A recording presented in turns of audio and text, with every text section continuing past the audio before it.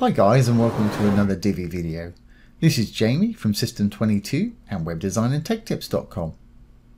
We had a question on one of our videos and somebody was asking if you could add a floating WhatsApp button to your website. And simple answer is yeah, it's really easy. I don't personally use WhatsApp, but I know of it. And so I was able to put this together and I'll show you how to do it. It's really easy to do. There's no coding involved with this today. We're just using the inbuilt features of the Divi theme itself. So let's get started. As you can see, I've got one here. If I click on it, it's going to take us to the WhatsApp page. I don't have an account, but if you have an account, I'll show you how to get it to take you to your account.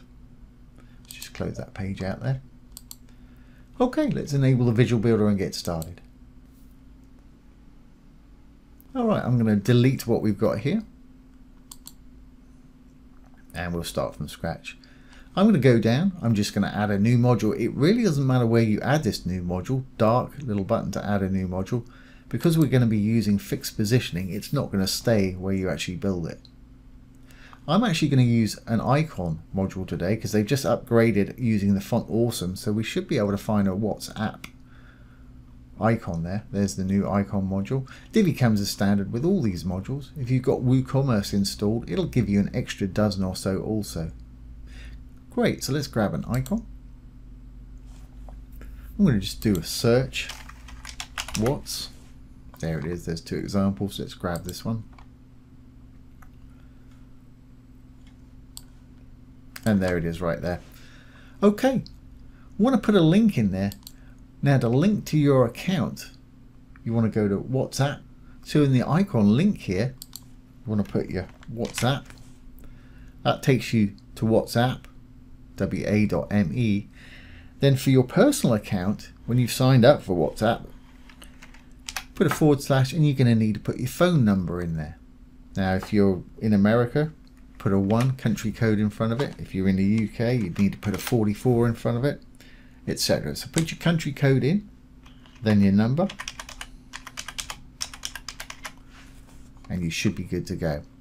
Icon link target, as we're going off-site to somebody else's site, you want to open it in a new tab so your site stays open. Great, well that's the link bit sorted out. Let's go over and make this icon look like we want it.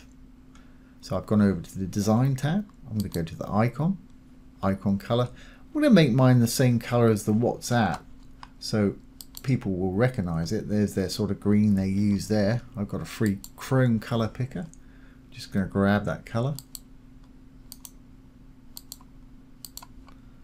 And let's make it that color. So I'm going to click on the color that's there already. I'm simply going to paste that hex code right there. Great. We've got it the color we want, but it's a little large. So let's take it down in size. Similar, I've got a, a switcher down here we did in a, a previous video that'll uh, switch to dark mode. So I'm going to make it a similar size to that. Once it's the size you want it, let's put it where we want it. And for me, I'm going to put it up on the right hand side here. So let's roll over to the advanced tab going to go down to position. And I'm going to flip it from default to fixed. And when I do this it'll disappear. But it's not actually disappeared it's just up here on the right hand side. Or actually up here on the left hand side. So once you put it in fixed position you've got a little matrix here. Top left top right. If I just click on them middle left bottom left middle, bottom, etc. I'm sure you get the idea. I want mine on kind of the top right. And the reason we can't see it is it's up under our menu right here. So if we roll down just a little bit more, we've got some vertical offset where we can bring it down to where we want it. I think I want mine about there. But I want to take it out from the edge just a little bit, perhaps so it's more in line with our little switcher down there. So you've got horizontal offset here.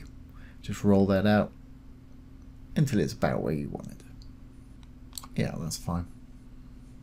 You can type in a value, you can increment up and down. Let's leave that at about 30.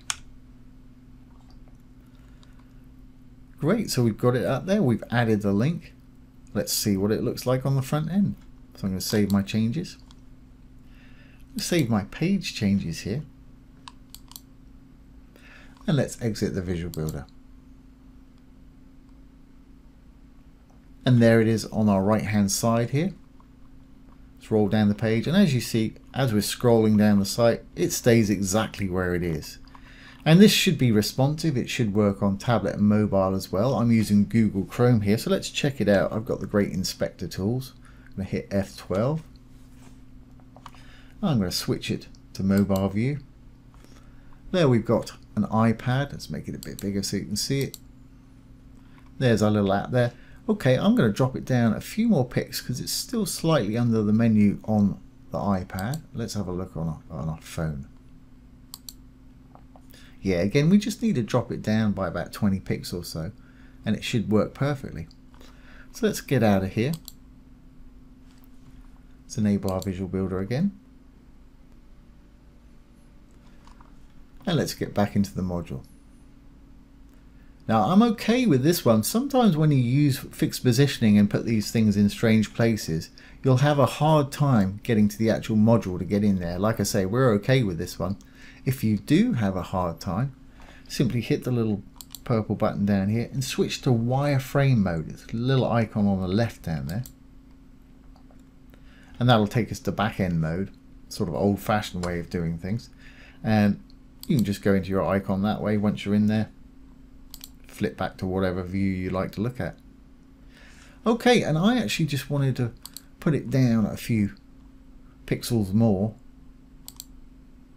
So let's offset it vertically a little bit more. That should do it right there. Now let's save and we should be good to go. Save the page changes. Exit the visual builder. Well, firstly, we want to make sure it's going to work. Make sure it's still scrolling up and down there. That's fine. Fixed position. Click on it. it should open a new tab. And there it is. Like I say, I haven't got a real account, so that's not my account. But if you put your real number in there, you'll continue and chat.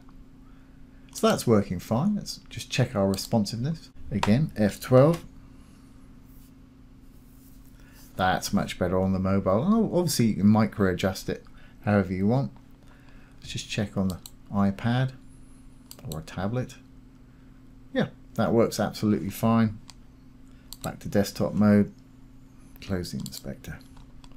So there you go guys, I hope that's answered your question. Really easy to do to add a floating WhatsApp icon to your website. So I hope you've enjoyed this today and found it useful. If you have, please give it a thumbs up ring the bell, comment, share, and subscribe to our YouTube channel. Once again, this has been Jamie with System22 and WebDesignAndTechTips.com. Thanks for watching. Have a great day.